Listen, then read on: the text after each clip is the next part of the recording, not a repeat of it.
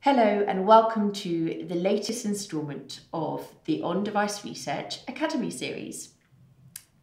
Today I'm joined by Alistair Hill, CEO and co-founder of On Device Research, and he's here to explain more detail around our latest report, the State of Digital Brand Effectiveness. So Alistair, what is the new report all about?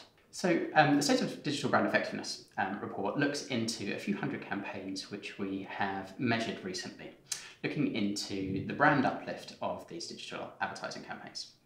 It looks into a couple of hundred thousand survey responses and shows our benchmark or normative data uh, on campaign effectiveness.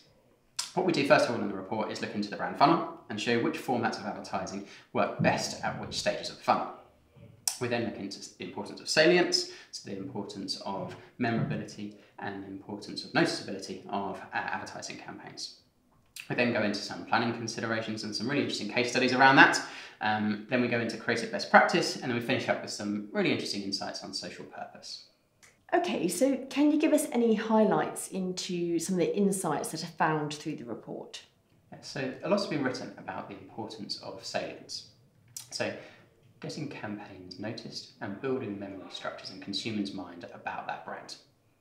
And so what this uh, report shows is that those um, campaigns that drive salience are actually four times more effective at driving purchase intention, really proving out this point, uh, and showing that if brands drive that, they can um, get consumers to be more likely to buy their products. We also then go into some fascinating insights about social purpose um, campaigns, but you'll have to download the report to find out more about that. To download your free report on the state of digital brand effectiveness, please visit our website at ondeviceresearch.com.